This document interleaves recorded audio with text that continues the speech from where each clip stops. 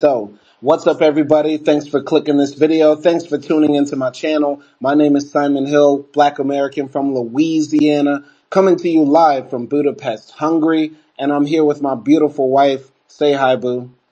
Hi everyone, I'm Akdi and yeah, I'm from Turkey. And today we are reviewing the 2023 film, 2024. Not exactly sure. I'm going to list it as 2024 because that's when we saw it. Why not? Fuck it. but uh, yeah, the film is called Lost Soulz. It debuted at Tribeca last year, and it's been bubbling underground. And this was a movie that Akdi recommended. Akdi, how did you find this film? I don't know. I don't remember. Probably saw it like on a movie list of something. Yeah. I'm not sure, but it might be on Letterboxd. I see. I see. And uh, I gotta say, we watched it last night, and since we've watched it, I can't stop thinking about it because this film hits really, really close home to me because this is a film about struggle rappers in like the modern day. Now this is a Gen Z film, so like everybody in this film definitely was born like after 2005. Like nobody has a birthday before 2004 in this film from how they look, how they act and the aesthetic and everything but it is still very close to my generation. And uh, I love hip hop, and uh, I grew up loving hip hop. I used to be a rapper, and seeing all of this on camera like really brought me back to me being 16, 17, having all these hopes and dreams, and also made me cringe at sometimes too, like at you know some of the things that they were going through and some of the things they were saying and how they were acting and everything. I don't know, man. I just really really like this film. I know it might sound like I hype up every film we talk about, but this one, this one's different. This, this is a bit different for me.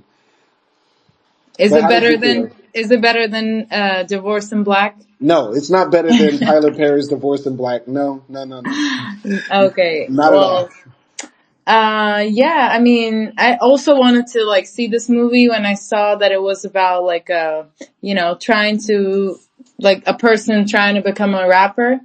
And not because like I was a rapper before, but I was interested in music a lot, like in high school. And, uh, I did have like, you know, trips, like going to concerts, performing at concerts and stuff. So I do like, you know, for me as well, I remembered those moments as I was watching it. I wasn't like struggling. I was just in the school band. Mm-hmm. Uh, but obviously, of course, yeah, like I dreamed about it once and stuff like that. And yeah, overall, I just felt like this was such a cozy movie, uh, that was also very real. Like it almost felt like, at some points, it almost felt like a documentary. Yeah, yeah, cozy is a great way to put it because this film doesn't want to challenge you with an overbearing narrative or complex relations between the characters. It's really about the feeling. So I could understand also if some people really don't like this film. And this might be polarizing for some people, but this film is about the vibes, like capital V vibes. Like you either feel it or you don't. And um yeah, it's it really does touches it really does touch you though if you are very close to those feelings that you had when you were a teen, when you were uh, a person uh, coming up in this world and you're lost and confused and you don't know which way to go. So that's what I think. Yeah, vibes with a Z.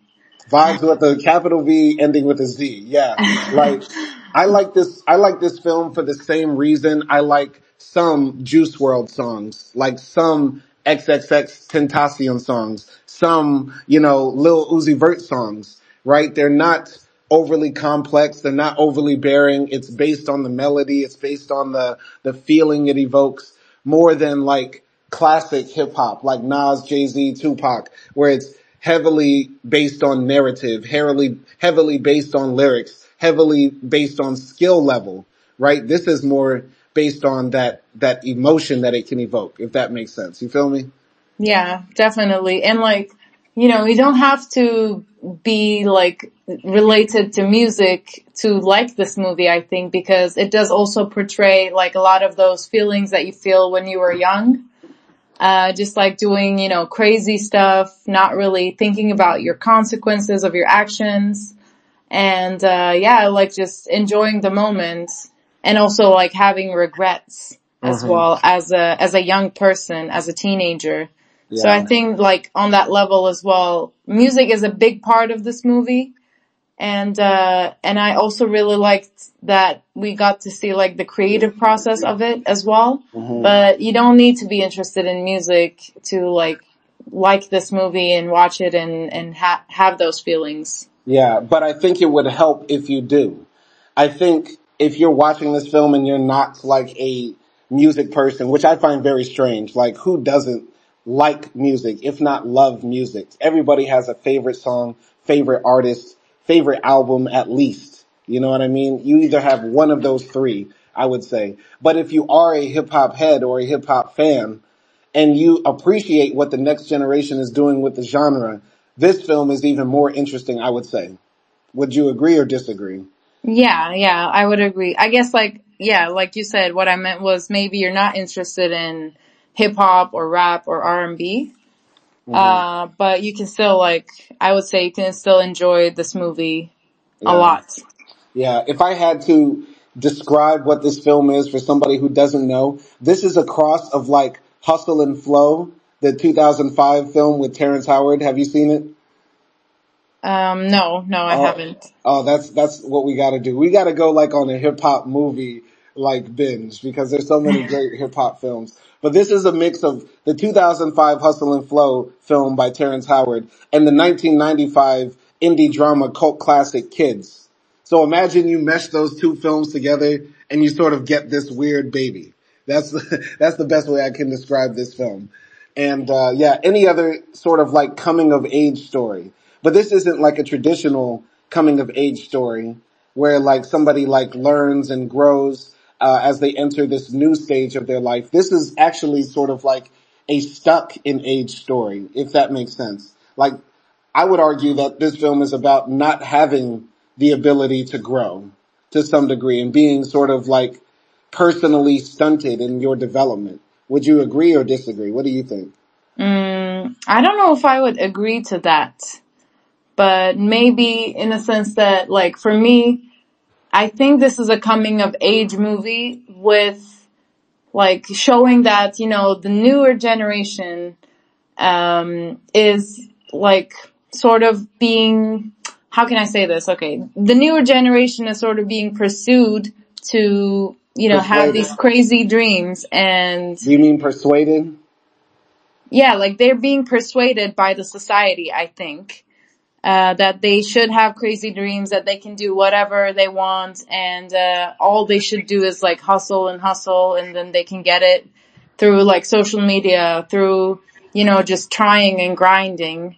And I think like that's why a lot of like there are so many artists coming from this generation because everybody's trying to make it mm-hmm. and i feel like it's a coming of age story combined with that pressure i get what you're saying i of course like you know in this film everybody's trying to be a rapper right and if we break down what being a rapper is it's almost like you're the spokesperson for modern capitalism because rappers most of them rap about you know drugs money cars clothes hoes you get what I'm saying? So yeah, you're advertising all of the things in our society that are the most materialistic. But I, w- I would say this film doesn't even really touch that nerve, uh, that much. It doesn't talk about the contradictions of like following your dreams to be basically a walking billboard for every brand or the spokesperson for every brand. It doesn't touch that. So I don't, I don't know if I can get with that, uh, part of it, right? But I do think there is something that you're saying there about following your dreams and how your dreams can sort of, uh, crush you, right? Or the pursuit of them can crush you. Yeah. I mean, yeah, not, not like the, you know, financial or political side of being a rapper, not that part, but just basically more like you want to do something and you go after that like as a passion. Mm-hmm. and in this case it's music and you know rapping and singing. So yeah. yeah.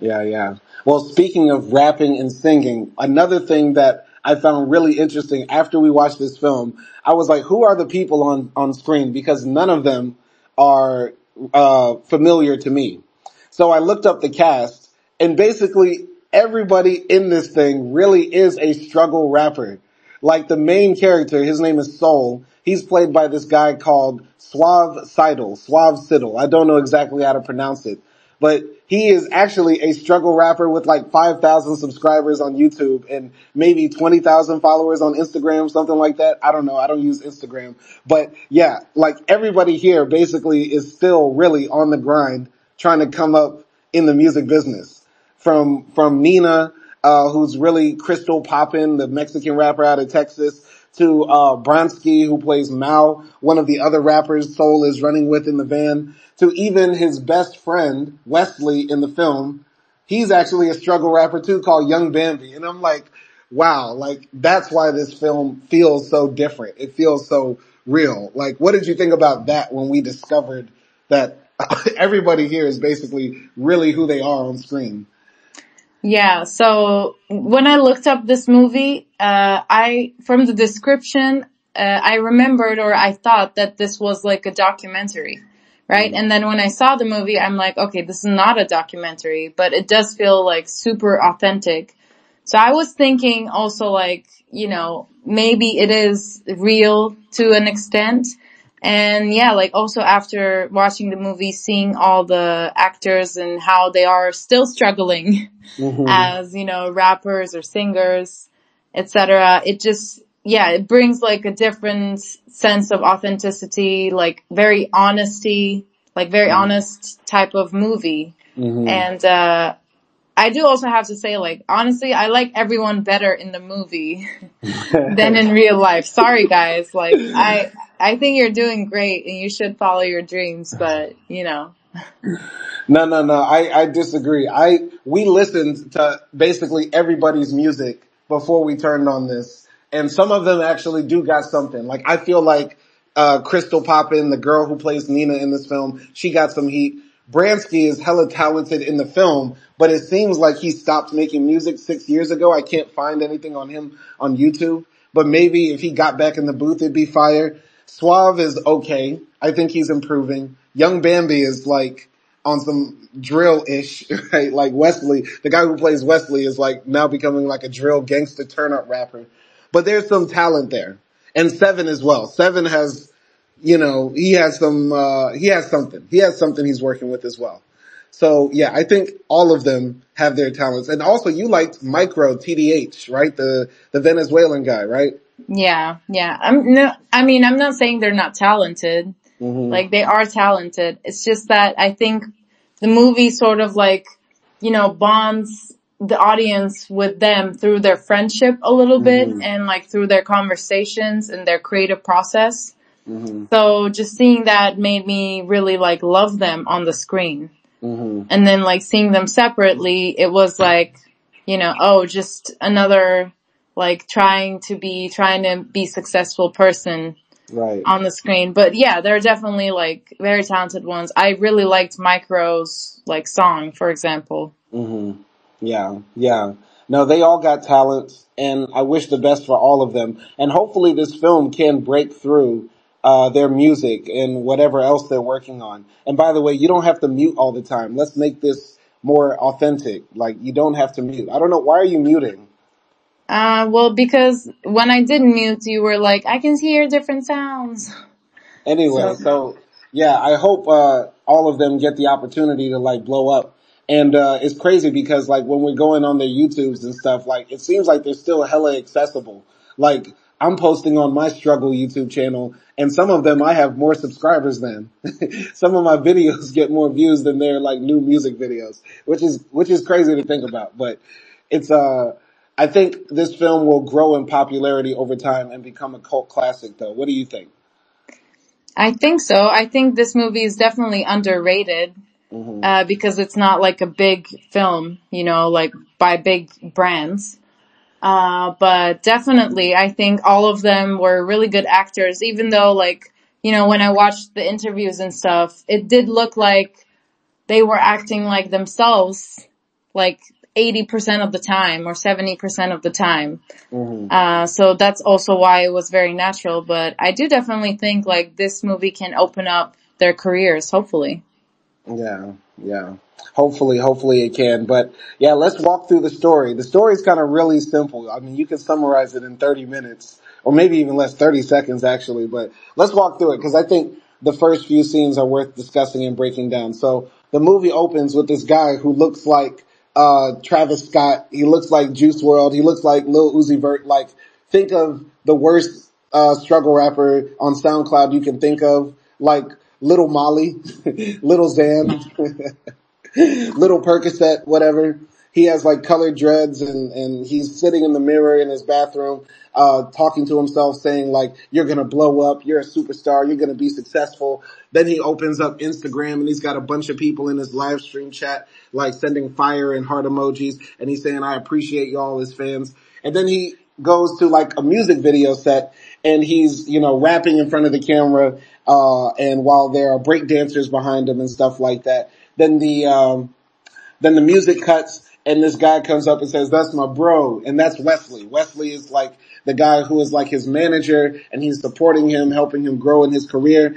And then after they shoot this music video in front of this fancy car with all the lights and, and dancers and stuff, him, Wesley, and, uh, Wesley's little sister, uh, are sitting at the bus stop and the main character, Soul, is asking, uh, Wesley, hey, where'd you get that car? And, uh, Wesley's like, don't worry about it.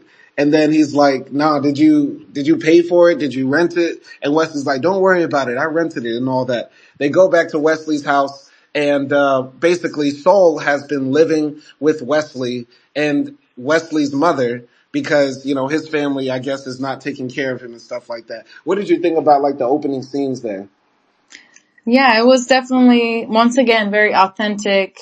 Like, it looked like this could be a real story. It felt like documentary-ish because they were also showing like these phone footages at the same time, like, you know, the vertical ones. Mm-hmm. And, uh, yeah, it definitely was feeling like real and also just seeing, you know, these two guys, they they obviously don't have like all the opportunity in the world, but they're still friends and they're still trying to like make something and, you know, obviously it also reminded me of my best friend and how we would talk about like what we're going to do mm. and that sort of thing. So yeah, it was, it was like a nice start to it. What yeah. did you think? Yeah, like you said, I didn't know anything about this movie. So from the very first scene, it looks like a documentary because the camera is like not a steady cam. The, and the way he's talking and looking at his Instagram and all that sort of stuff, it felt like like at any moment there was going to be like a cutaway scene where they like sit down uh soul and say tell us how you're feeling. And he's like man i'm just on the grind bruh. Like something like that. So yeah uh it felt really really real. And i one thing that i was gonna say is like i thought in this movie they were gonna do much more background on the characters but it's like for this type of movie and story, we already know what it's gonna be. Like you don't have to delve so far into Soul's background to know what it is. Like Drake said, boo-hoo, sad story, black American dad story, right? Like probably Soul comes from a broken home. He's living in the hood and he's just trying to make it as a rapper. Like you don't even have to say it for it, for us to understand it because it's so close. Does that make sense? Yeah, definitely. And like same for Wesley, right? Because we see like his house and it's not like he's living in a mansion. He's not mm-hmm. rich either, but he mm-hmm. just like has his mom and his little sister and they do feel like a little family like all together and it feels like the mom accepted soul in the family as well. Yeah. Yeah. But I gotta say this though. I gotta say this because this is gonna count later in the film. I think Wesley was a badass kid.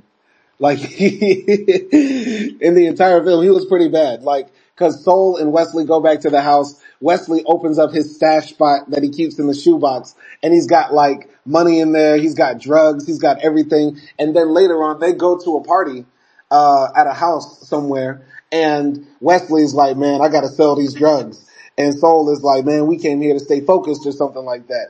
And, uh, yeah, they go into the house and Wesley's trying to sell drugs to some white boys, but Soul has to come in there and try to convince the white boy to actually buy him.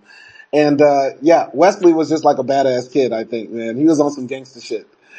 yeah, a little bit, but it's like at the same time when they were going to the party on the way, they were at the car and he was like, I made this beat like for us, don't worry, we're gonna get you some studio time if we can like sell all these drugs. So like definitely like he was trying to, you know, make a future for him and for Soul. Mm-hmm. So it wasn't like he was selling drugs and shooting up people and, you know, like not doing really anything mm-hmm. with it. He was doing it just to get out of the, of, of the place that he was in. Yeah, exactly, exactly. And that beat will be important later for the story in this film. But uh yeah, the thing is, and I feel like if you watch this film as a hip hop head, you'll notice this, right? The beat that Wesley made was more of a traditional boom bap East Coast jazzy instrumental, right? But when we listen to Soul's music throughout the film, it's this new age, very synthy, syncopated, uh, synthetic 150, 180 beats per minute type track, right? So I was thinking when Wesley played that track, and this movie doesn't go in this direction, but I was just thinking this, that Soul was gonna be like, man, that shit garbage. That's whack. That's that old school shit. You get what I'm saying? But then Wesley was like, nah, nah, it's a hit and stuff like that. But Soul actually said he liked the beat too. And they actually used the beat later, right, in this film. And, uh, yeah, that, that's something that you'll just notice if you're a hip hop head watching this film and thinking about how unique this, this movie captures this transition from like what hip hop has been to what it's becoming, right? And, mm-hmm. uh, yeah, any comments about the music uh, I mean, yeah, like I realized the difference between what like Soul uh, was singing and then what uh, Wesley showed him. I mm-hmm. didn't like know the you know the details of it obviously, but it was just like yeah, it's a different vibe. Yeah, basically, yeah. and uh, yeah, I mean, I think Soul was like, oh, it's okay, like it's a it's a good beat. Mm-hmm. Like he wasn't that impressed with it, and uh, it also almost felt like you know, he was just in his head and he just wanted to do his own thing a little bit, but he loved his friend as well. Yeah. And that was like the vibe I got from that conversation. Yeah, yeah, definitely. And they do, they do show like they have like a real sincere brotherly bond. You know, it feels authentic and real. And, um, yeah, uh, speaking of the music though, like, um, when they make it to the house party, there's some music playing in the background and it's actually the music of one of the characters here whose name is Seven. And in real life, he's a actor by the name of Aaron, right? And, uh, he's the white boy, young white boy, right? Aaron Malou, he plays Seven. And, uh, the song is called Beyonce. And as soon as I heard it, I said, that's a hit. That's low key a hit, low key. the soundtrack to this film is gonna be fire, but I'm mad it's not on SoundCloud. And, uh, yeah, Soul goes on stage to perform at this house party and he does uh, one of his songs, which is actually kind of cool. The song is like very emotional and moody and it talks about, you know, wanting to be a star and not giving up on your dreams and stuff like that. And the crowd likes it and rocks with it. And uh, there's this girl looking at him while he's performing and she talks to Wesley and she says, uh, hey, he's pretty good, right? And uh, that girl looking at him is Nina who is sort of like the manager for the group that goes up after Soul on stage called LIA, which is like this big posse group, uh, with like four guys and they, you know, basically rip the stage up and, uh, do like a more hype, hype crunk song for the crowd. Uh, what did you think of those two performances, if anything? Uh, I really liked, you know, they, that they did different types of, like different vibes of songs. Uh, that was definitely like refreshing. And I think like the songs you hear throughout the movie make so much sense as you're watching the movie and you actually do vibe to them. Mm-hmm. Like, I don't know if I would listen to each song like, if I, if I just like heard, you know, those songs on a Spotify list, maybe I might skip them. Mm-hmm. and not like add them to my playlist or something. But as you're watching the movie, it makes a lot of sense and it makes you want to listen to it more it makes you want to add it to your playlist. Definitely yeah. because it's like capturing those moments. And I definitely like, when I saw like that posse up on the stage, I mm-hmm. remembered your videos that you mm-hmm. showed me from like when you were in university and stuff like that. Yeah. Yeah. How what did I, you feel? Yeah, what I think is uh interesting about this film and the music that it's focused on, right? It's focused on this very particular type of rap, you know, SoundCloud, what some people call mumble rap. emo, emotional singing rap. And if you really think about it, it's hard to even classify this as hip hop, right? Because the melodies they're hitting, the way they're flowing, the lack of actual 16 bar song structure that we're used to in hip hop, that's not what these guys are doing, right? And I think when you pair this music with the story that this film is telling, it makes you respect SoundCloud rap, mumble rap, whatever you want to call it, a bit more, right? Cause like you said, Akdi, you would hear these songs on SoundCloud and maybe skip them, right? Because a lot of the music is like kind of disposable and almost easily replicable by other people, right?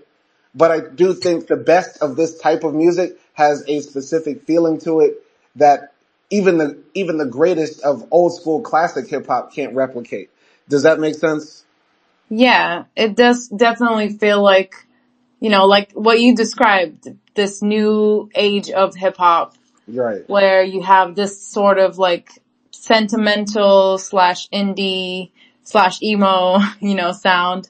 Right. And like you said, I see, I hear these type of songs like all the time on my Spotify weekly discovery list mm-hmm. and I just skip them mm-hmm. most of the time, but hearing it here was dope.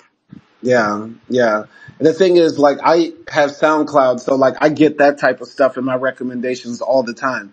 And sometimes I really listen to them and I really like them. Like, there's this guy out of LA called Lambo Foe, and he looks just like Soul Sidel, like Soul, the main character here, and he makes similar music, very emotional, evocative, like, like in this film, like these guys are hitting these sort of melodies that really like touch you low key. But is this hip hop? Is this hip hop? Like Akdi, I think that's one of the big questions because I might call this a hip hop film and some old heads might say, no, this ain't hip hop. This ain't hip hop. The hibbity, hibbity. Wow. is I this, mean, is this hip hop? What do you think? I think it is because I think hip hop has evolved so much and has so many like sub genres under it, uh, subgenres after un, under it. So it's like for me, it is hip hop, but it's just like a different form of it. Mm-hmm. And yeah, like I also agree with you. Sometimes, you know, those artists I hear on Spotify, for example, some of them like hit Mm-hmm. And some of them, I'm like, wow, like this guy has a beautiful voice or th- these lyrics are so nice. Mm-hmm. But then I never really get to hear another album from them or another song from them because yeah, yeah they don't just, they don't become popular. Right, right, right.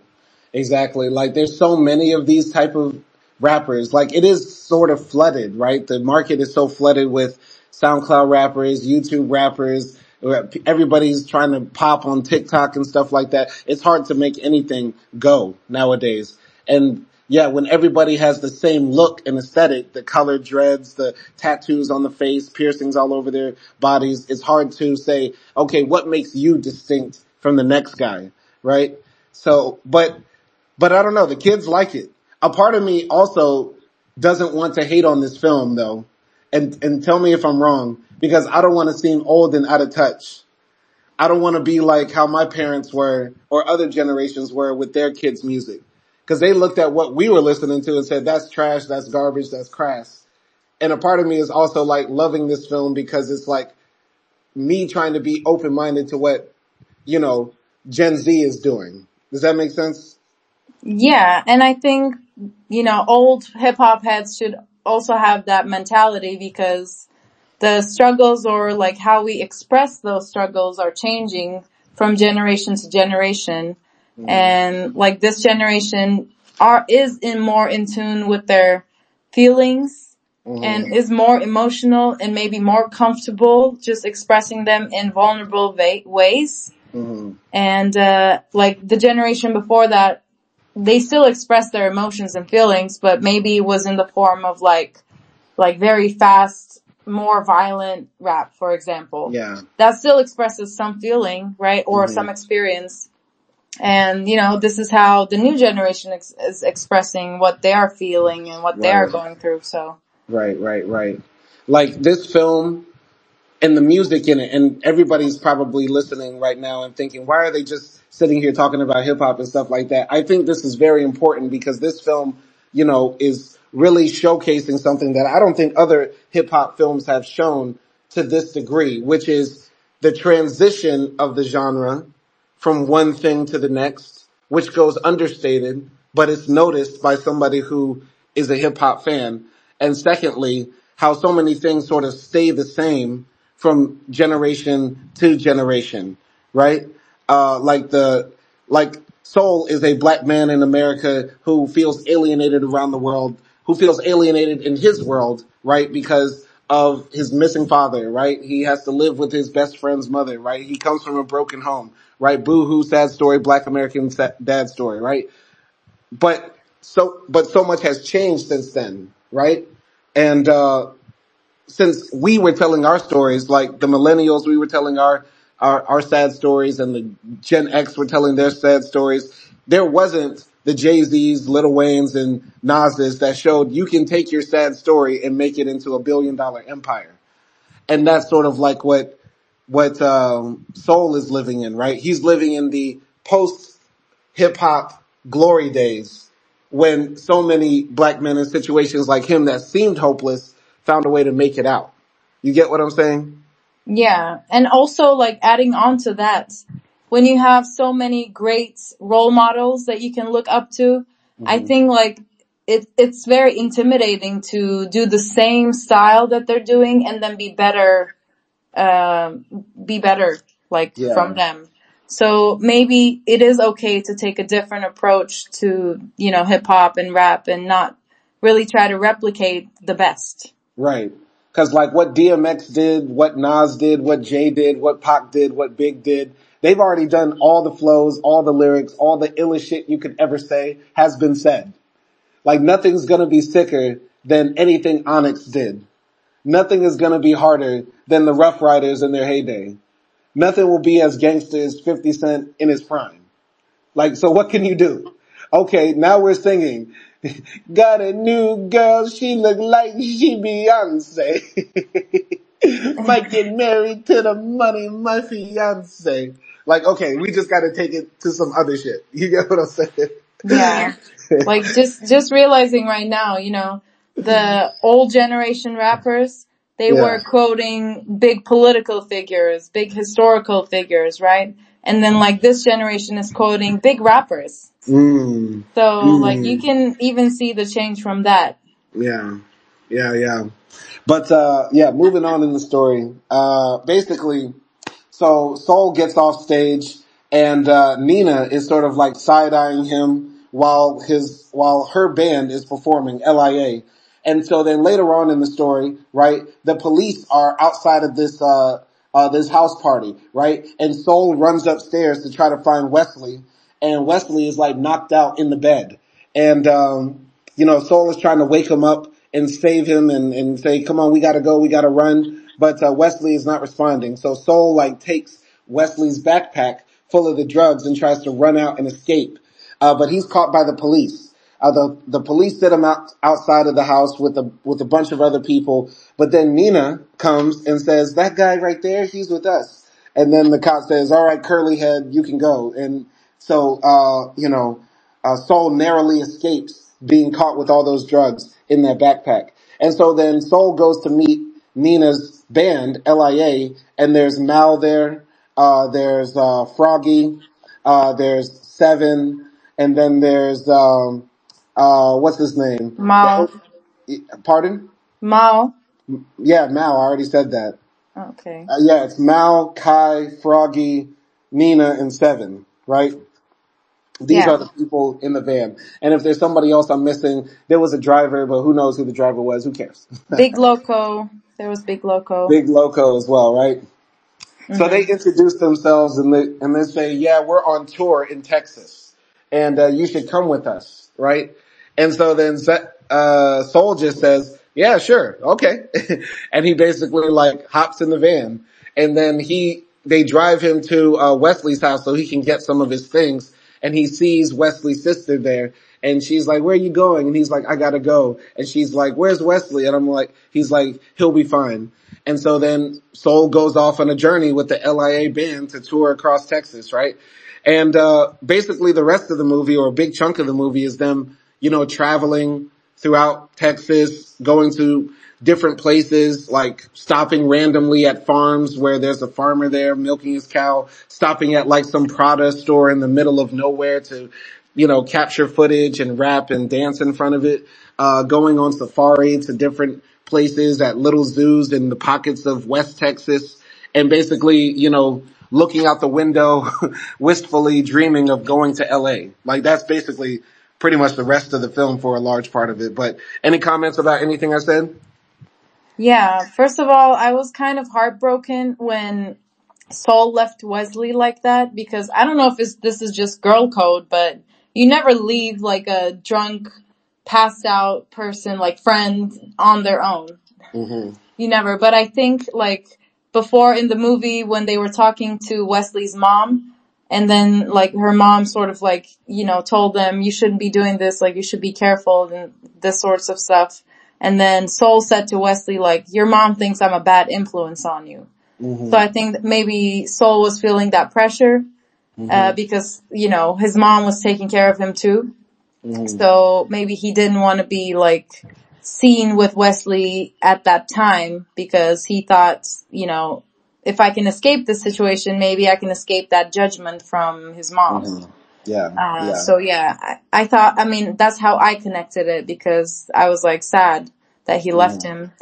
And, uh, yeah, like when he got on the bus and, you know, he met all the people there, I was a bit annoyed by how everyone talks because everyone kept on saying, bruh, you feel me?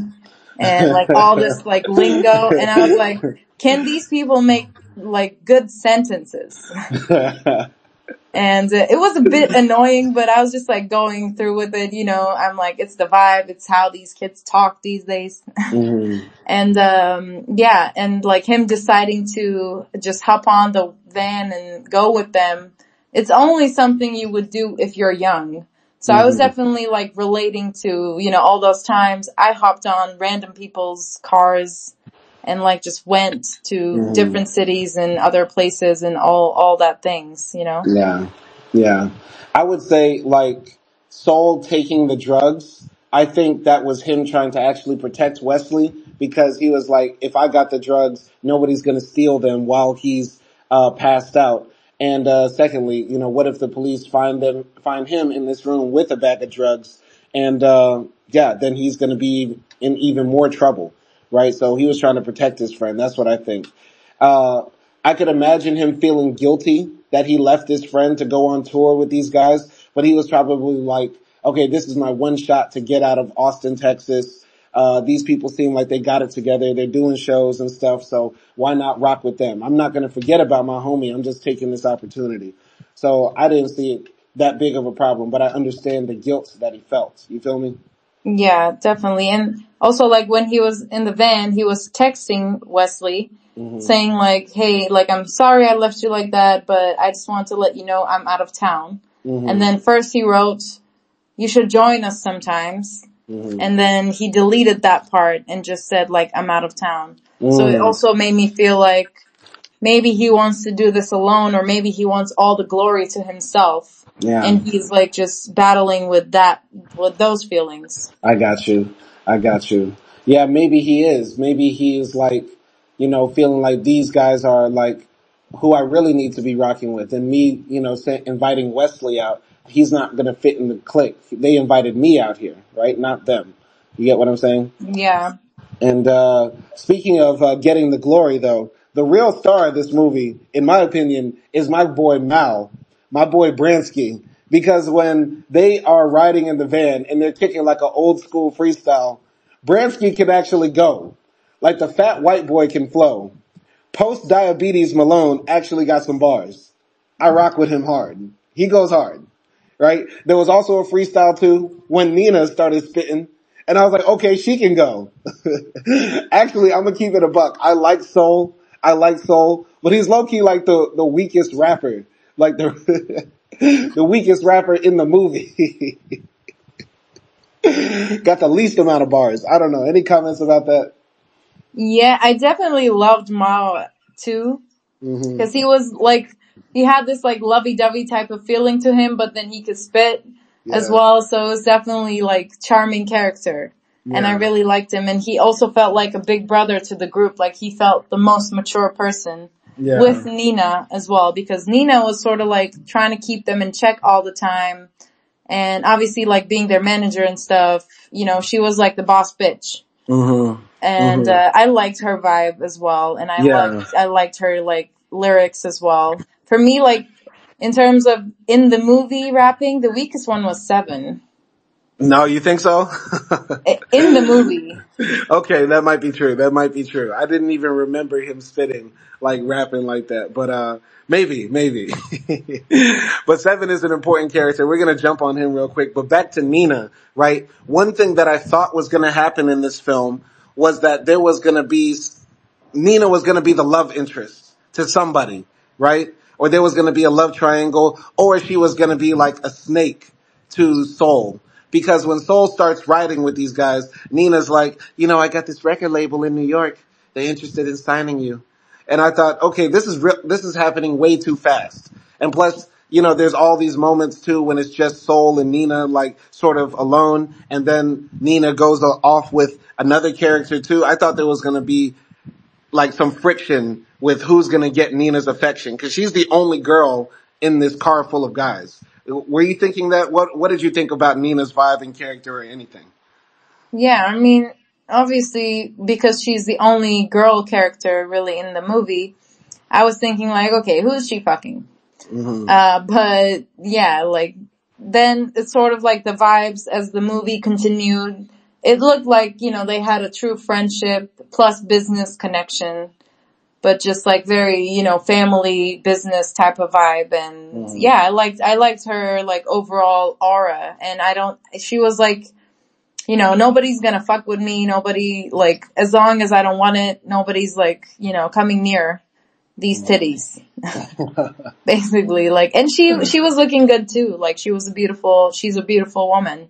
Right, right. She had the big hoop earrings that made it look like the TV was buffering we only saw the side of her face, and I thought, oh man, I got to restart the browser every time she turned her head. But um, but yeah, yeah, yeah. No, Nina actually turned out to be cool, right? Uh, another interesting thing is that in this film, there's a character called Froggy, who's played by Micro TDH, who actually is like kind of actually very famous from Latin America. Like he has like two million subscribers on YouTube, like uh, a million plus uh, followers on Instagram, right? And he's like in the film, like kind of barely. I feel like if his character was cut, uh, it wouldn't change that much in the story, right? But what did you think about Froggy, one of the other members of LIA in the bus? I thought he was cool. I thought he was present. I don't think like he was in that background too much. Yes, like the main characters were Soul, Mal, Nina, and Seven. Mm-hmm. right? But then mm-hmm. after them, it was, I think, Froggy, and then Big Loco was even more in the background, and then Kai mm-hmm. was even more in the background. Right. So I think like he was somewhere in the middle, and I liked his vibe. He had like the, you know, Latino star, uh, confident, you know, Bad Bunny vibes a little bit, and right. it was like a, you know, good mix. And this group is a good mix right. as well because they got like you know, the skinny white dude, the fat white dude, and like a bunch of black dudes, Latina, like rapper slash singer, Latina right. girl, you know, everything's well, there. Right. I think this film, you know, because it doesn't talk about race at all in this film, right? Which I think goes to show like how Gen Z this movie is too, as well. Uh, but I also have to keep in mind this film was written and directed, I think, by an Asian American woman, if not a white woman. I forgot the. Do you know? Uh, yeah, Katherine Pro- Propper. Mm-hmm. Uh, yeah, she's like Asian American. Okay.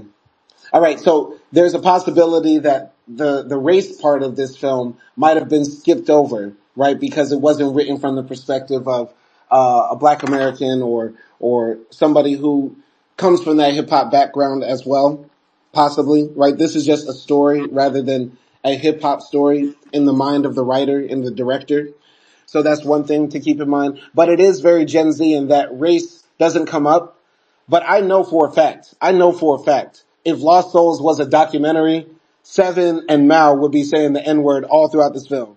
It'd be like, yeah, Soul, that's my nigga. Like I know that for a fact because that's how the young boys talk. The young, the young generation, they be dropping the N bomb and it don't matter if they got blonde hair, blue eyes. They don't care. they don't care. So that was, uh, one thing I was actually nervous about the film because I was like, when is Seven gonna drop the N bomb? I know he has it on the tip of his tongue. uh, I don't know. I don't know if I necessarily agree with you on that. Talk to me. Because I thought like Seven, especially Seven, right? He was very like doing the black lingo and mm-hmm. it felt like he was adopted by black parents or something. like that's how he talked. He was like, I felt like he was raised, you know, with all black people around him and no white people. Mm. And, uh, I think someone in that generation being raised like that would respect what it is. Mm. Like, you know, what, what belongs to black people in terms of lingo. I think newer generation is more respectful, hopefully. Mm. Like, hopefully I'm right, but I just feel like that, that way. Yeah. Uh, yeah. I got you. I got you. I think, um, I think on one hand, if seven, you know, grew up all around black people, it depends on what type of black people he grew up around. Cause there's some black people that don't mind white people using the N word around them and stuff like that. Uh, and there are other black people who would get very offended, right? And, uh, there is a scene actually where all the characters are sitting around the campfire and they tell their stories. And Seven says that, you know, he grew up in Beverly Hills but he was always misunderstood and the world was always trying to make him out to be the bad guy. But that's because he didn't want to sit in class and just listen to the teacher talk all day, right? And, uh, yeah, Froggy tells his story too, and he got a bunch of issues. Soul tells his story. Everybody tells their story around the fire. Any comments about that? Um, yeah, it was nice to sort of like get to know the backgrounds of people mm. in the movie. And also like, I think that, that bonding moment was like actually what was important for me in that scene because yeah, like with a lot of people, when you're young, you have fun and you're goofing around and all jokes and stuff.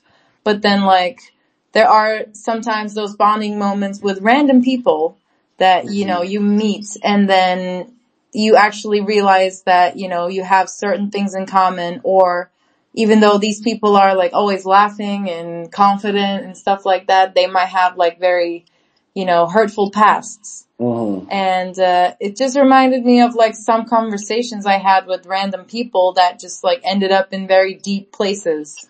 And then mm-hmm. I ended up like, you know, finding out that they had very traumatic pasts.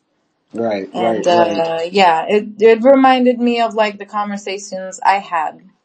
Yeah.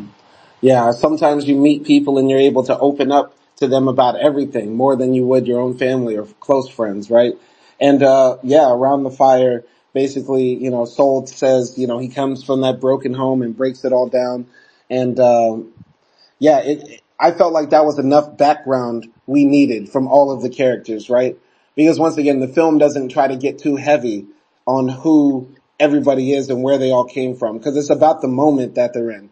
Because I think at the campfire scene, Mal says something like, I just want to do this forever. Chilling, smoking, making music, being with my friends. Cause that's what it is, that's what the film is about though. It's about this precious moment, this time in youth and the dreams that you have in your youth. You get what I'm saying? It's about capturing that vibe. Yeah, definitely. And also before we continue, I want to like go back to the scene where they end up stopping at a farm Mm-hmm. And they talk, they start talking to this like old farmer mm-hmm. and there are like buffaloes there, cows there, and they start playing with them. They trying to like feed them and stuff.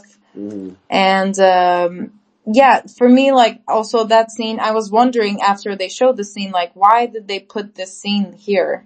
And they also have a conversation with the old man and they say like, you must be working, you know, really hard here, man. Like you're very mm-hmm. old and you did a good job. Sounds like a good life and all sorts of things. And I feel like that sort of represented the prejudice over, you know, the new generation, especially when they're looking like how they're looking in the movie. you know, they're wearing like all these crazy colorful outfits. Their hairs are like crazy and they talk like weird, but you know, and most of the time when older people like see them, they think of them as like, oh, they're thugs, they're criminals, or they do bad stuff. Yeah. You know, these kids. But at that moment, it just felt like, you know, they were in their own like natural state and Yeah, they yeah. were admiring the beauty of the nature of this man that was there and, you know, how they appreciate the life he lived, lived. Yeah. Cause even though these, these like young kids, they want to become famous, they want to have, you know, drugs and bitches and alcohol. Mhm. They also can appreciate like, uh, serenity of a farm. Right. Like they're not devoid of, you know, feeling these more serene emotions. Mhm. And, Mhm. uh, I really like that scene as well. Yeah, I just feel like with that scene, it was just random as hell. I honestly feel like that scene could have been cut low key. I, I felt like it didn't really serve a purpose. If they were trying to make a message about the youth meeting the old, the, the, the transient meeting the most stable lifestyle person, if that was the message they were trying to send, it, it's, it kind of missed its mark and I didn't catch it. But, uh, that's like the one scene I really didn't like in this film. Really? I mean, I like that film because I was thinking, why isn't this man like chasing them out with his gun from his property? Cause honestly, I feel like if this was in Turkey, like they would be chased out Yeah. or they would get weird looks and stuff like that. So Hey. Southern Yeah. hospitality. They're just being nice. Good old Southern folk. Yeah, come and talk to me about the cows. I guess, I guess, I mean, that's why I was like thinking, why is this scene here? Yeah. And then that's the conclusion I came up with. Yeah, but speaking of another conversation during the whole journey across Texas, like Seven gets a phone call from one of their former bandmates, I guess, who's now in prison. And uh, he's like, I miss y'all, bros. I miss y'all. Y'all be good out there. Y'all be strong. I can't wait to touch down. And then, uh, you know, he showed, Seven shows the phone to Soul and he says, this is our new bandmate. And then Soul's like, what's happening, bro? And the guy behind the prison wall is like, what's good, man? what did you think about that whole prison conversation? Yeah, I thought it was weird because obviously Seven talked to this man on the phone who was in prison, Mhm. like he was his biological brother, Mhm. right? And, uh, it was obvious that, you know, he talked to him frequently and that he like missed him and, you know, there was that some emotional connection between them, definitely, uh, and like, or a family connection. So once again, it was like, I was thinking, okay, like Seven did grow up around like people mm-hmm. like this. And that's mm-hmm. how like he is the way he is. Man, it could be two things. It could be Seven grew up around people like that, or he is the white boy bankrolling this whole entire operation, and they're just using Seven. you Think so? It could be that. It could be that. Who knows? Because yeah, like I, I remember you saying throughout the movie because they'd be stopping at like, you know, a bunch of restaurants. They ate Whataburger Yeah. and like diners and stuff like that. And they are like, what, seven, eight people? Yeah. So it's like, who's paying for all of that? Yeah, yeah. This film, in this film, money is not an issue. Now it's not like they're balling out of control. It's not like they got, you know, real diamonds and gold teeth and stuff like that. But, you know, they find a way to feed themselves, put gas in the van, and always sort of have food in their bellies and, and weed to smoke. You get what I'm saying? So, there's Yeah. some money in this thing. Yeah, I mean, and they also have like a camera too. Like, I don't Yeah. know if it's like something, you know, uh, very expensive, but yeah, it, it does look like a mini production, yeah. mini tour bus. Yeah, yeah. Now, I think that that jail call, right, was once again really authentic to this film because there are so many rappers uh, in the in the world who have somebody who's locked up, right? And also there are so many poor people in America who know somebody locked up. Like in America, I think it's like one in every 20 people are in the prison system or something like that. They could be on probation, parole, or they've been arrested before, uh, been, been to jail, got out. You get what I'm saying? So everybody knows somebody in America who has had to deal with the criminal justice system. And especially if you're, you know, from the lower classes of America. You get what I'm saying? So it's like, that was very real to have that in the film, right? Cause I'm pretty sure if we did a poll of most rappers, they would know somebody behind bars. You get what I'm saying? Yeah, definitely. Definitely it did feel like it was reflecting reality. Yeah. And it also, like, I think that guy that they spoke as well, I think he was making music with them too. Yeah, yeah, yeah. And yeah, like you said, I've seen it, like when we watched Diamonds in the Dirt hmm and stuff like that. Like so many of those guys went into the prison system. Yeah, so many, so many. But uh speaking of like prison, right? One way to go to prison is having drugs and guns. And so basically LIA stops at like this uh trailer park and they all sleep there one night and they're all like, man, we wish we had some weed. And then Soul's like, I got you. And he pulls out a big old jar of weed from his backpack and everybody's happy. But he also finds a gun in his backpack and he's like, whoa, whoa, I didn't even know that was in there. And, uh, yeah, that's Wesley's gun. And so basically, you know, moving on in the film, there's some tension that's brewing between Seven and Soul. And they sit right next to each other on the bus, right? And there's one scene when like Seven is starting to like pull on Soul's dreadlocks with like this clamp, this toy clamp. And, uh, yeah, basically they're making it to like El Paso, Texas. I don't know. They're somewhere out there deep in West Texas and they're about to do a show and, uh, you know, Soul is really nervous before he gets on stage and they, uh, you know, announce that Soul is their new member of the band and they basically rip up the show, right? They, they, they tear it down. And, uh, yeah, there's a, the next day or something like that, somewhere later on, um, Soul and Seven and the guys, they're out shopping for shoes in some West Texas town and Soul runs away with some shoes without paying for them, right? And, uh, he runs around the corner and he meets up with the guys and he hands the shoes to Seven and Seven says, I gotta do something right. So he takes these shoes that are brand new and gives them to a homeless person.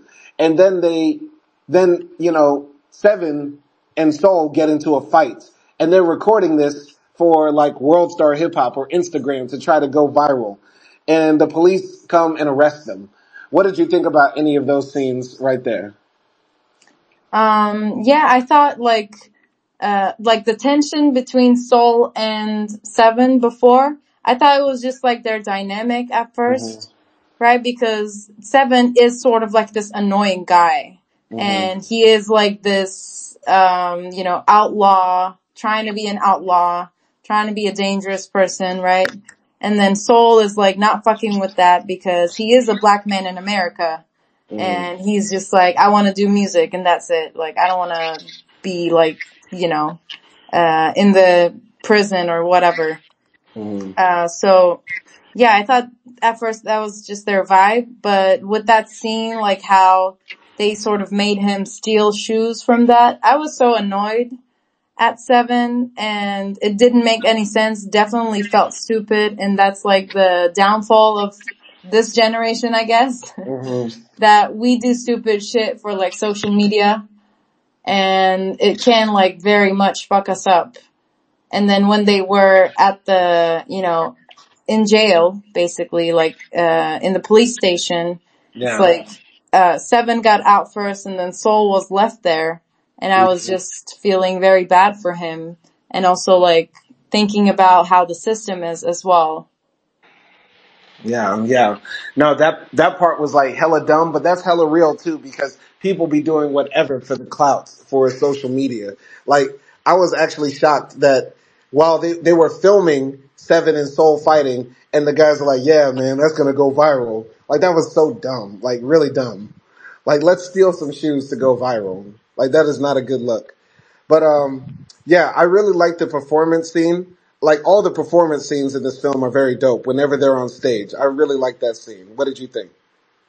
Yeah, definitely. The performance stage was really good. And also, uh, just like, you know, uh, extra information while they're like having all this van trip, right? This tour in Texas, there are footages of Wesley, uh, that are being shown. And I thought that was Soul's like just memory or what he was feeling at those times and remembering his friend Wesley and also feeling guilty as well. And there was a conversation where he, um, Wesley's sister calls Soul and he has a FaceTime with her and she says like, um, Wesley is sleeping in the hospital, Wow. but he will wake up or Mm. something like that. So they're like from there as well, and on from there they showed more and more footages of Wesley, Mhm. especially when they were playing songs and stuff. And in the concert as well, uh, Soul thinks he saw Wesley, Mhm. and then he sort of stops for a second, Mm. and then he continues like uh, singing his music and things like that. So yeah.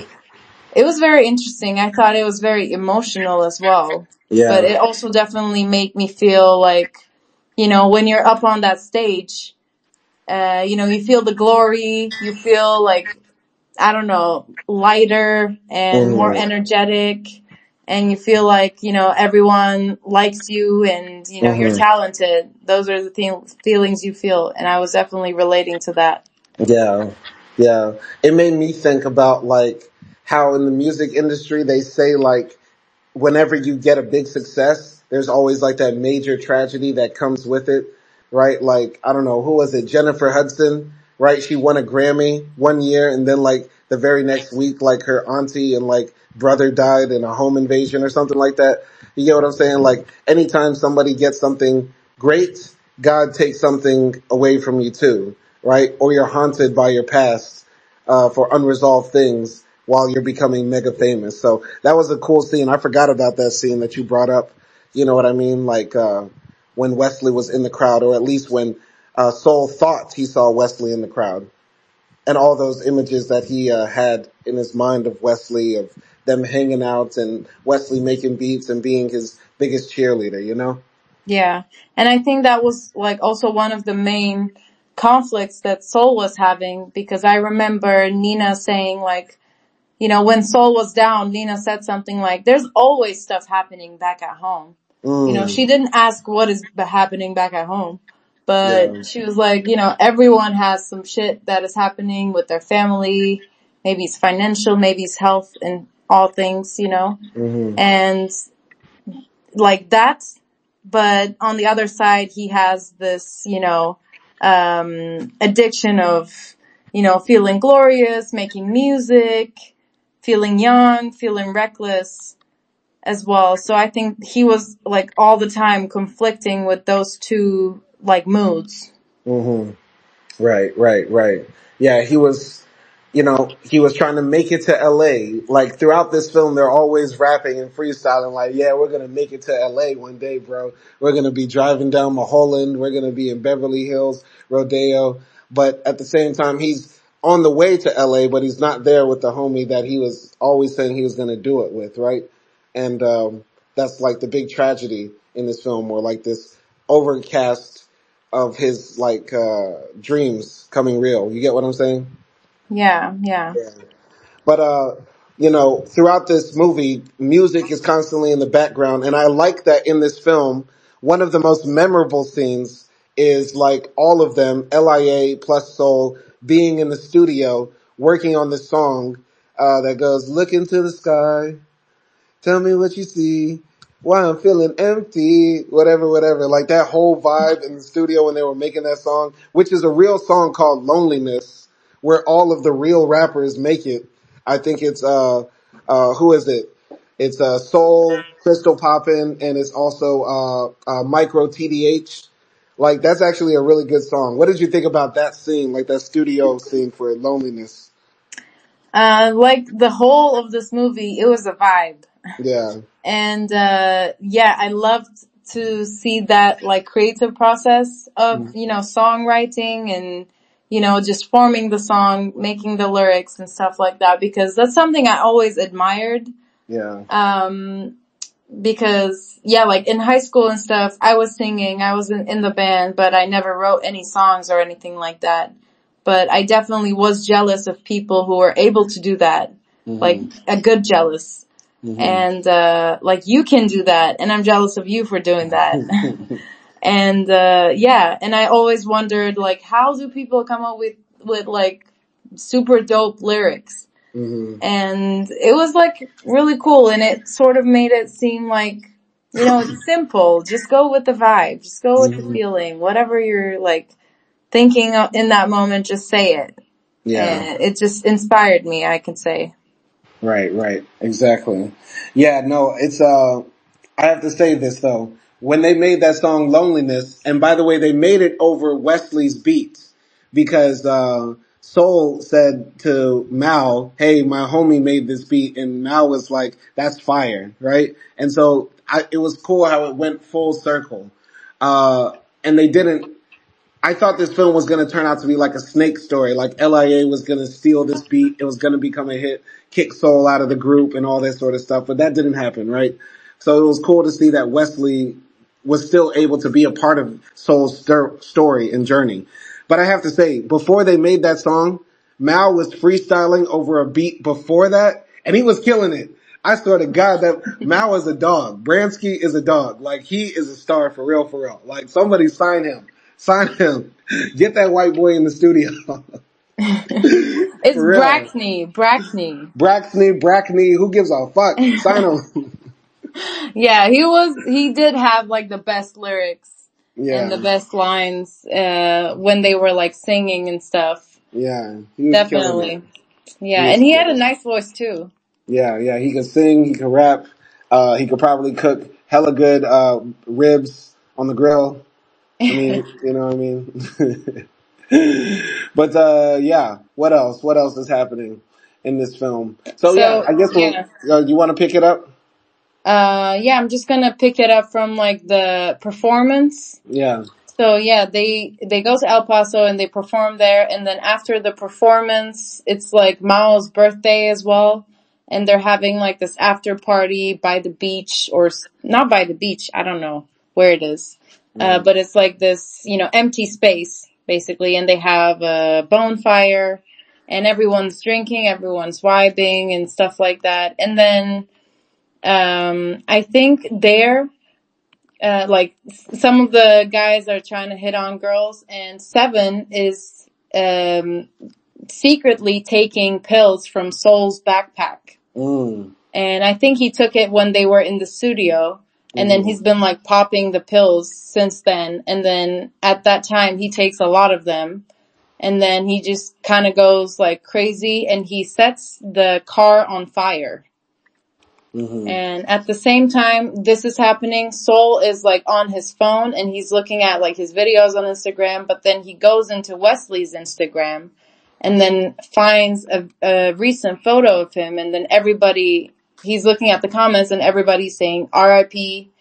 He's gone too young. Nobody expected this. And then he's mm-hmm. going through the comments and there's like a comment saying that, uh, soul is a cop out or something like that. Like, um, you know, he left Wesley or something like that. And yeah, he's basically, a sellout? Yeah, sellout. And, uh, yeah, and then he's, there's like this footage of Wesley like doing all sorts of dumb stuff that they did together and, you know, basically just remembering Wesley, uh, from his past. And then he realizes that, um, Seven lit the car on fire. So he goes there and says like, what the hell are you doing? Mm-hmm. And uh, yeah, they that basically like the car explodes and they stop the party. I guess yeah. like we don't see the rest of the party of what mm-hmm. happened, but yeah, they, there's like some tension there. But what did you think about that scene?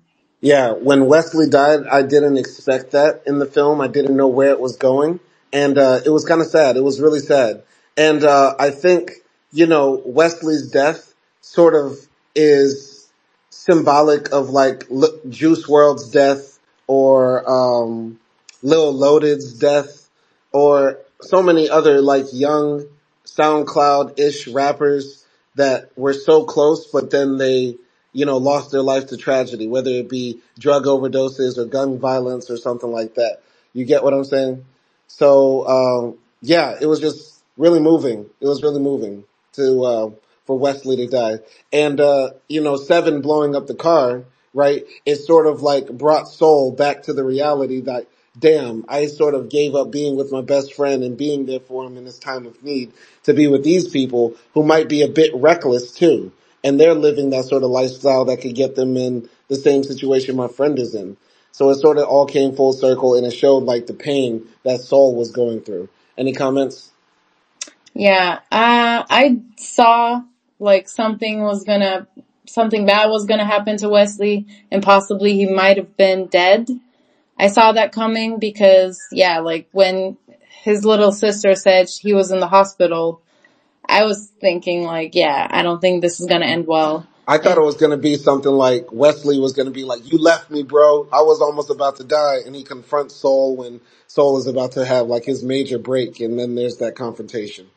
Mm, yeah, no, I, like from the time that he left them there uh, in the party, I felt something bad was going to happen. Possibly mm-hmm. it could have been death, and then it turned out like that. Um, but it was definitely still like heartbreaking and mm-hmm. it was also heartbreaking that Soul really didn't tell anybody. Cause yeah. I was thinking like, why isn't he like saying, yo, like, my friend died. Yeah. My best friend died and possibly the reason he didn't say it because he was feeling guilty. Right, but it's also that thing that Nina said, right? Like we all got issues back home.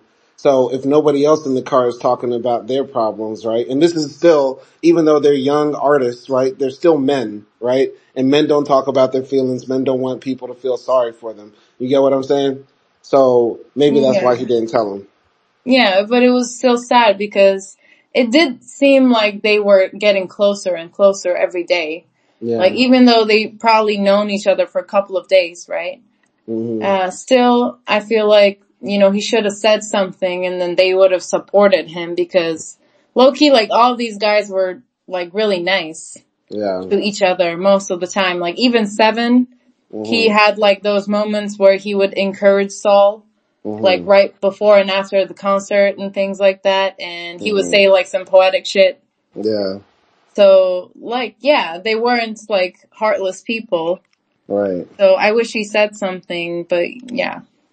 Yeah. So speaking of that, basically the next day, you know, Soul wakes up in the van, kind of pissed off because like Mal is like messing with him, knocking his hat off, saying, wake up, you know, and, uh, he asks Nina where they are and Nina says that they're going to LA and, uh, you know, Nina is like, uh, you know, this record label is interested in you. Maybe they can get you signed. And he's like, yeah, whatever. And then you know, him and Nina start going back and forth. And then also Soul starts going back and forth with, uh, Kai, uh, in the back seat because Kai is like, why you being ungrateful? You get free studio time and Soul is like, I don't give a fuck. And then Nina's like, you don't give a fuck? Well, get the fuck out my car. And so then, uh, he's like, yeah, all right, I'll get out my car, but where's my bag? And then he looks at Seven. Seven's still like asleep, uh, in the back seat. And he's like, Seven, where's my bag of drugs? Uh, and then he finds his bag, but he can't find his drugs inside. So he's like, seven, where's my drugs? Seven, where's my drugs? And then everybody in the car is yelling at Soul, like, get out, get out, you know? And then they, he pulls out his gun on all of them and they're like, whoa, whoa, whoa, chill, chill, chill. and then they try to wake up Seven and Seven is dead in the back seat too. And then there's this, uh, interesting flashback you know, at, when everybody freaks out and everybody says, you know, hey, let's get seven to the hospital. Everybody be calm. There's a flashback or this hazy image that, uh, Soul has where he's hanging out with Wesley in the studio in LA and also hanging out with Seven in LA as well. So what did you think of those scenes?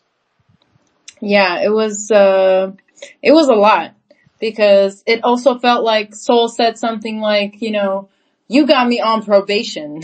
Mm-hmm. And, uh, it felt like he didn't want to be just another, you know, statistic. He didn't want to go to jail and he was like very scared of that. And, uh, I think he was very disappointed in himself and also in, you know, his friends or like those people that he was hanging out with that they put him in this situation. Mm-hmm. Um, so yeah, but then he was also going through grief and mm. Yeah, like, and then Nina came off like super hardcore. Mm-hmm. I was scared, like I thought she was gonna slap someone. Mm-hmm. Um, and I also got scared when Soul pulled out the gun because I was like, oh my god, no, this is America. I know guns get out and somebody gets shot. Please don't mm-hmm. shoot anyone. I don't want anyone to die. Mm-hmm. But just as I was thinking that, it's like Seven is dead.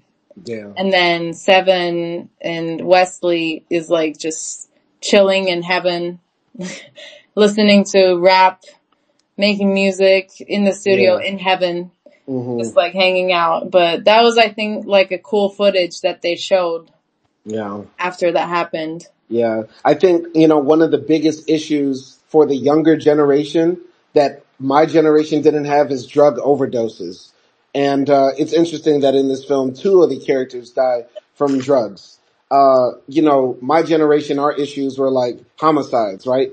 Uh, and the generation before that, it was homicides. But this generation is not the drug sellers. They're not gangsters. They're drug users. You get what I'm saying? This is like one of the biggest critiques of the SoundCloud era. But this film really humanizes it to make it more sort of like understandable. Like, yeah, they're reckless drug users, but they're not like, you know, wild addicts, I would say. You get what I'm saying? Cause like my generation had wild addicts. They were like, you know, smoking a ton of weed, getting hella drunk, drinking lean and stuff like that. But, uh, this new generation, you know, everything's laced with fentanyl. You know what I mean? Like you can die just from accidentally taking a dab of fentanyl. So it's like, it's interesting, like this film makes so many parallels between the stories of like Mac Miller, Lil Peep, how Eminem almost died from a drug overdose. And, um, yeah, when they have that flashback scene or hazy dream scene of uh, of Soul, Wesley, and and uh, Seven in L.A. It's sort of like, damn, like this is what Juice WRLD or Mac Miller or Lil Peep would be doing if they were still alive. And as Soul, as the protagonist, he's like us imagining being in the studio with them. You know what I mean? Yeah, it was definitely heartbreaking to sort of see what could have been uh, like the, you know, the dream of soul, mm-hmm. uh, at that. And I do agree with you. Like, I think like, I guess older generation, they also had like, they had crack, but I don't think crack was that involved in hip hop scene. I mean, we, it was crack selling. There was nobody rapping about, hey, I'm smoking crack. Everybody was selling crack.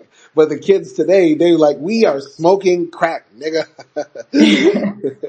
yeah, I mean, they're taking everything. Yeah. And it is sort of like a proud point, you know? They yeah. are singing about it, like, and then sort of like proud of it. Yeah, yeah. So, uh, basically after Seven's death, uh, Soul leaves the band. Nina s- tells him like good luck. Uh, and Soul sort of heads back to, uh, Austin Austin, Texas, where he's from.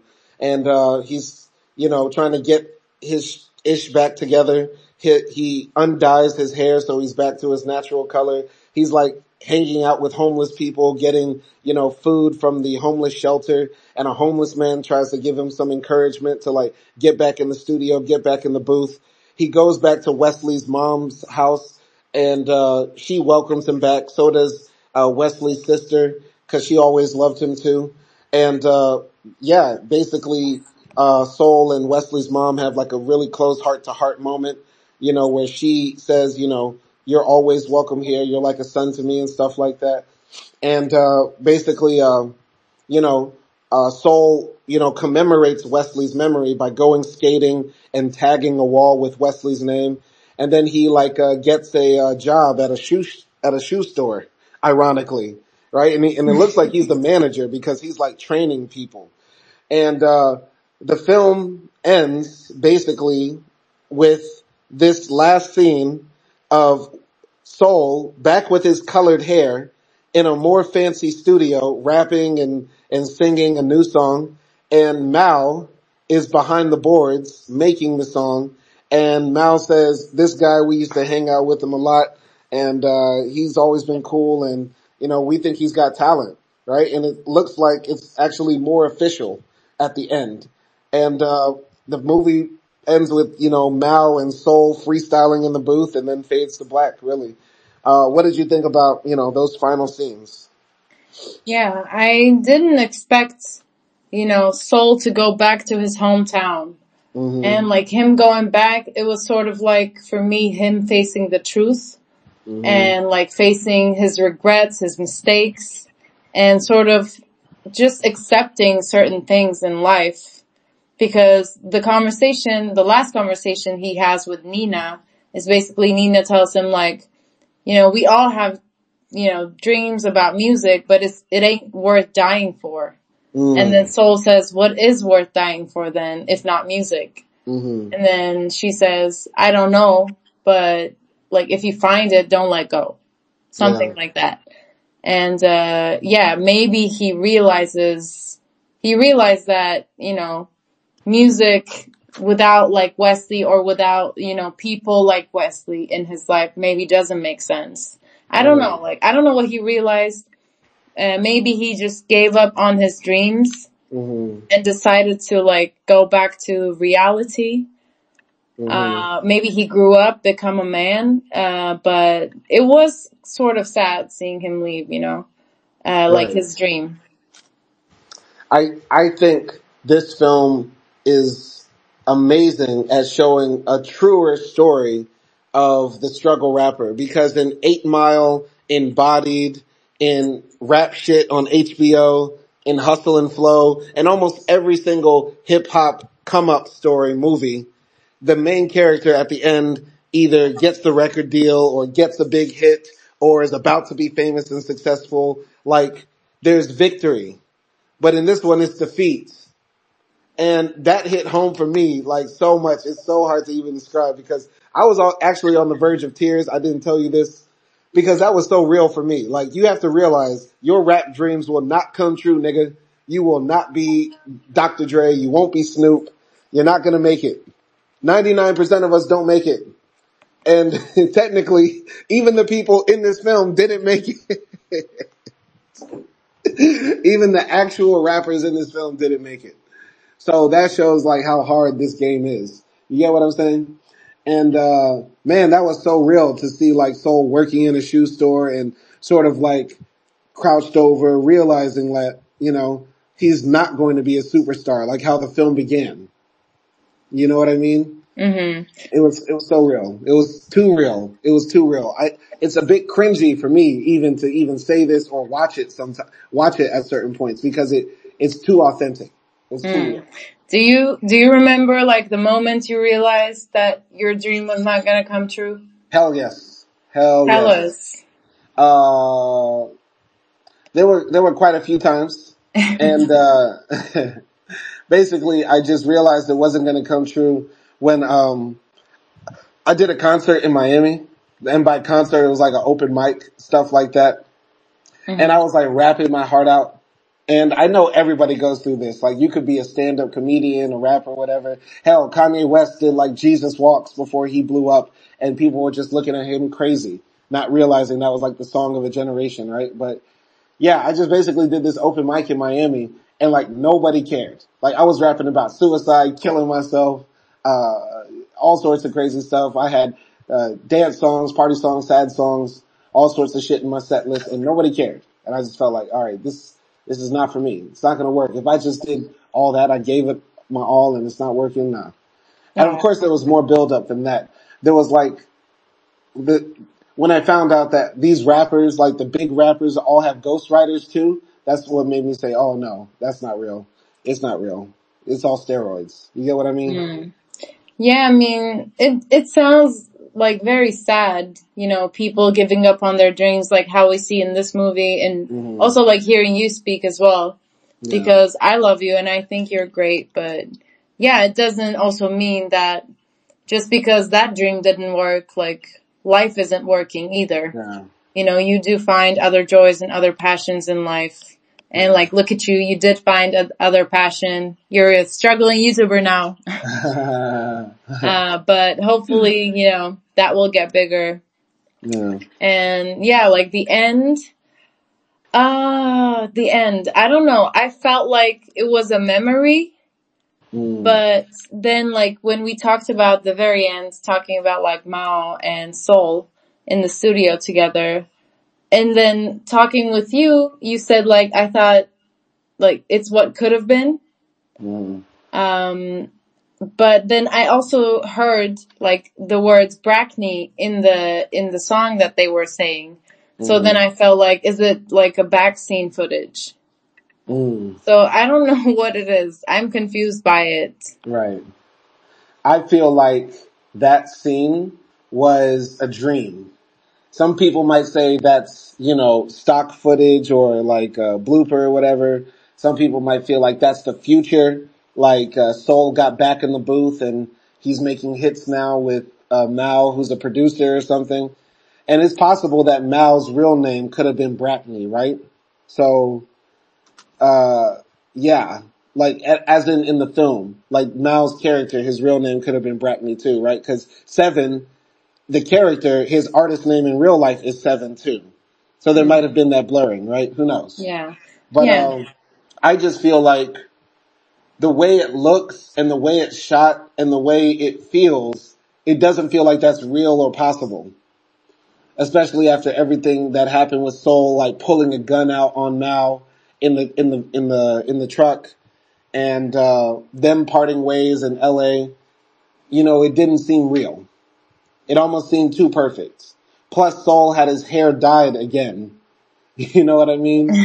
So, and at the end of the film, when he's like hugging Wesley's mom and Jesse, his hair is like normal. So it felt like this was what he wanted things to be, but it's not how it is. And it's mm. very actually kind of sad. Even though the movie has a happy ending, it has a sad ending. Low key, in my opinion. Yeah, I don't know if it's a happy ending.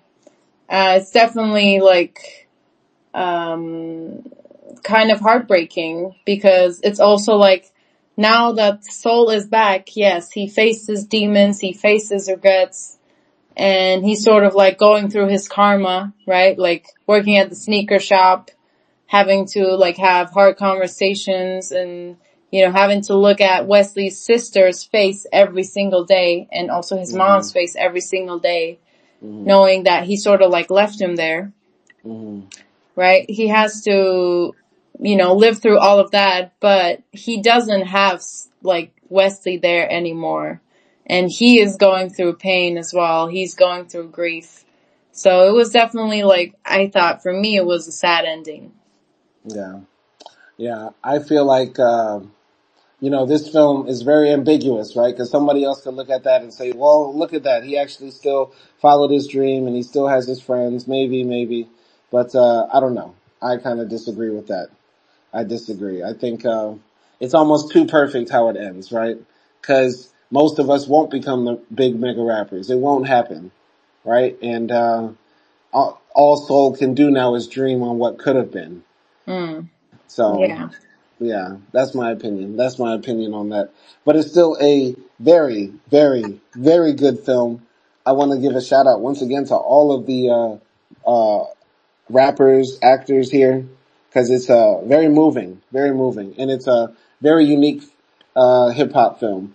And, um, the thing that I just want to say before we wrap this up is like the ending and this film in general reminds me of this, um, this description of the music industry, and I forgot who said it, but it goes like this. Imagine there was a dragon and everybody, everybody lines up to get eaten by this dragon.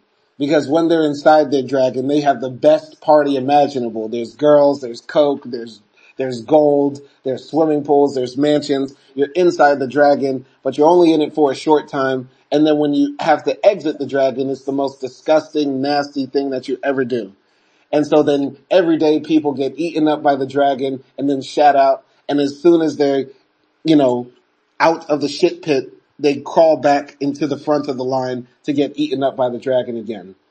And that's like what the music industry is. Mm. And it just, it just made me think about what the, uh, like how that feeling of the film is, right? Like Soul lost kind of everything a little bit to his pursuit for music and he still kind of wants to do it. you, st- you still want to do this? You get what I'm saying? So yeah, that's just all I got to say. Any comments? Yeah. I mean, like you saying this and you knowing what music industry is like, like if you were given a chance to be famous, to be a famous rapper, like would you still take it? Yes. Yeah. and that's how sick it is. That's how sick it is. Yes. I had I had to seriously think about it, but yes, yes. Yeah, I know, I know. I mean, if I was in your shoes, I would say yes too. Mm-hmm. Because it's sort of like the glorification of it, right? Because as much as there are bad sides to it, there are good sides to it and also like you get to share mm-hmm. your, you know, passion and mind with other people all around the world. Yeah. And maybe that's worth, you know, that sort of glorification of yourself is worth all the trouble. Yeah. I guess for mm-hmm. some. Um, First time. Yeah. Yep, yep, yep. But uh, yeah, overall, really like this film. I give this actually a nine. A nine. Mm. It's worth a nine for me. What about for you? Um, yeah, I really like this movie. I think it is a great coming of age movie and also great music movie.